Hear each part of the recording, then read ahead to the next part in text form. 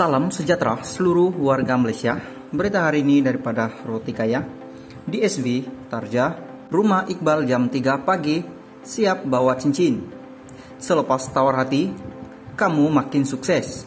Membatalkan untuk berkawin bekas pembantu pribadi Datu Sri Vida, yaitu Ahmad Iqbal.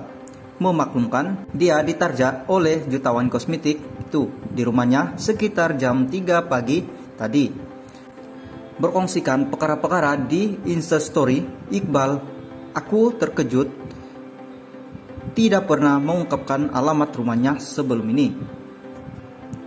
Kedatangan Datu Sriwida tanpa pengetahuan saya, kali terakhir saya berhubung dengan beliau pada September lalu.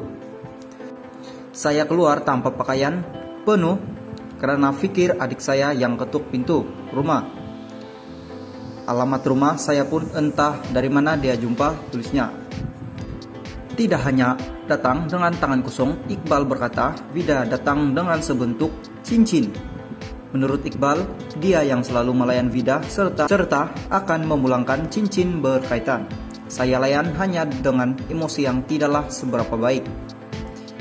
Dia tinggalkan sebentuk cincin, pasti saya tidak akan sekali pakai. Semestinya saya akan pulangkan kembali. Saya sebenarnya penat begini, tulisnya. Setiap pengawal keselamatan akan menghubungi terlebih dahulu jika orang datang tulisnya. Sekian berita pada hari ini, sekian terima kasih.